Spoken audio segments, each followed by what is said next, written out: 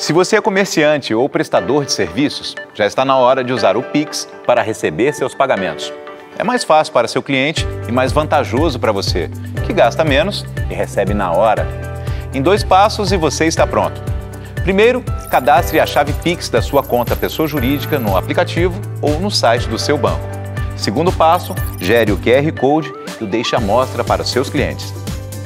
Se você usar um sistema de vendas no seu estabelecimento, também pode integrar o Pix facilmente. E o QR Code vai ser gerado automaticamente a cada transação. O cliente tomou aquele suco e agora vai pagar? Mostre como é simples fazer um Pix. Basta acessar a conta pelo aplicativo e na opção Pix, clicar em Pagar com QR Code. Fazer a leitura e pronto. Em segundos o dinheiro está na sua conta. E os dois recebem uma mensagem informando que o Pix foi realizado com sucesso. Simples, né? Pix. Fácil, rápido, seguro e simples de usar. Banco Central.